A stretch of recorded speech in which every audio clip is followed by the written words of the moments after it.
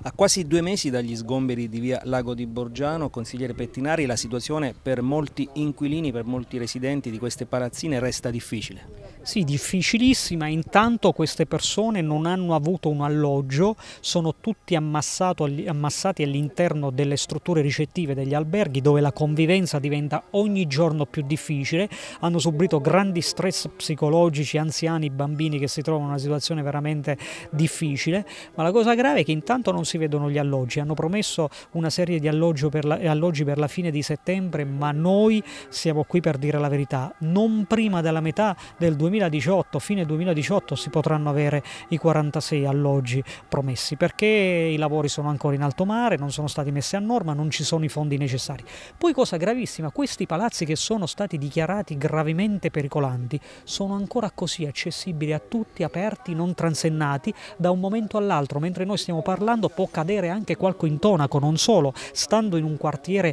periferico problematico dove si delinque, queste strutture possono essere utilizzate come ricovero di droga, di armi, come eh, eh, stanza del buco, come la chiamo io, per andarsi a drogare, ecco, possono essere utilizzati per delinquere. Quindi